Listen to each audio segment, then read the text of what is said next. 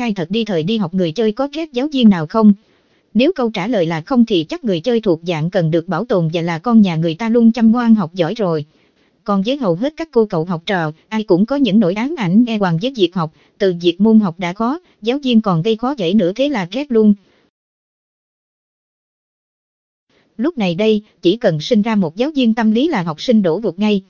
Điển hình là thầy giáo người Hàn Quốc dưới đây, biết học trò hâm mộ nữ thần tượng ti gieo nên đã mua hẳn 400 album thế hệ đi phát cho học trò lấy động lực học tập.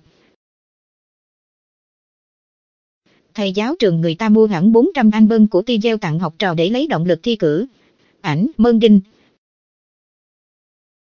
Cụ thể theo những gì dân mạng đang lan truyền trên mạng làng mạc hội, một thầy phó hiệu trưởng của một trường trung học ở Hàn Quốc đã bất ngờ gửi tặng 400 album thế hệ của Tizel mang tên Burbo xe cho học sinh cuối cấp, nhằm chúc cho các người chơi có thành quả tốt và đạt được mục đích trong kỳ thi cử sắp tới. Ngay sau khi bài đăng được đăng tải, phần đa cư dân mạng đều tỏ ra gato với học sinh của trường học này. Nhiều người chuẩn bị đổi trường vì quá phấn khích trước hành động của thầy giáo, khi Phan nhà ta vừa cấp 2 cấp 3 có khi cả cấp 1, còn Phan nhà mình thì đã là hiệu phó.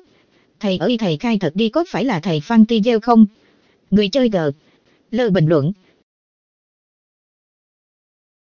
Khi người chơi vừa muốn đu phan xích vừa muốn khuyến khích học sinh, người chơi mờ.